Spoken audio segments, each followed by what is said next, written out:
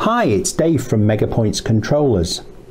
At the beginning of February 2025, we shared some love for the System 2 solenoid driver in the form of a little hardware and software update. So this video, I'm going to tell you all about it. If you take the update from the 12th of February, um, you'll notice there's a little efficiency mode option appears. Let's talk through the update. So if I go into update firmware and view full history, then we can read about it here. So on this update, um, you get a randomized boot delay. That's to stop all of your boards trying to connect to the Wi-Fi at the same instant. So, you know, it probably if you have 20, 30 boards or more, um, it's just a little kinder to your Wi-Fi to uh, hopefully stagger their connection. Um, the efficiency mode, uh, which requires hardware version 1.2 or later. Now we started shipping 1.2 boards uh, end of January, early February, so if you're lucky enough to have one, brilliant. If you put this software on an earlier board, it'll just ignore the efficiency mode. And what happens is, um, when the solenoid driver is running, it's powered from a 12 volt power supply.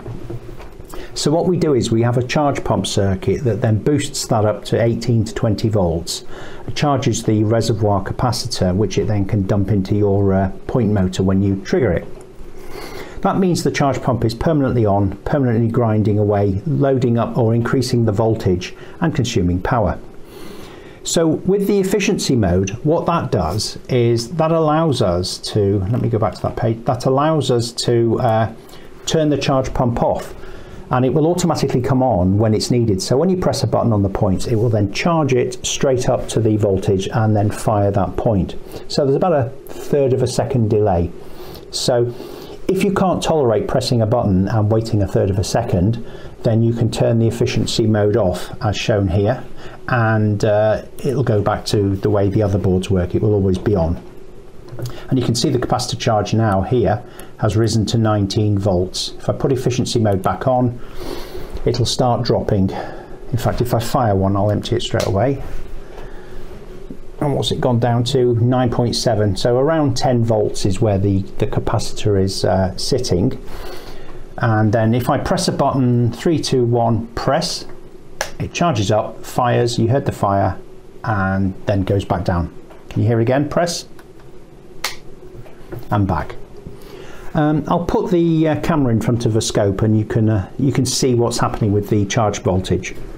So this is the current capacitor charge voltage here and it's currently sitting at uh, about 10 volts. Uh, uh, 10.2 volts. So as I fire a solenoid, this voltage will rise, discharge all the way down to zero volts, and then come back and rest at 10 volts. So I'm going to press the button, three, two, one, press. So this is the 10 volts that the uh, capacitor sees and then it charges when I press the button here, charges up to the uh, 16, 18 volts, fires which drops it down to zero volts and then it comes back up and rests in a discharged state. Let's do that again. This time I'll fire all four. One, two, three, four. And you can see they're all charging and then it goes back to rest. Now, if I turn the efficiency mode off, we'll wait for the screen to clear. Turn it off now. You see it charges straight away and now it sits in the fully charged position. So when I press a button now it will fire immediately and then and then charge. So I'm going to press the button three, two, one, now. The button fires instantly, three, two, one, now. So that's the normal operation. I'll fire them all. It still takes as long to get through the cycle of four because it has to charge three more times.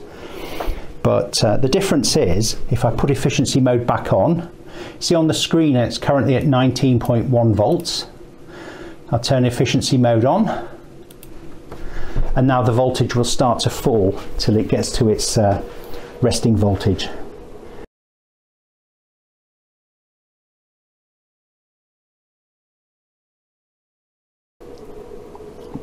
and now you can see it's at its uh, resting voltage which is the supply voltage.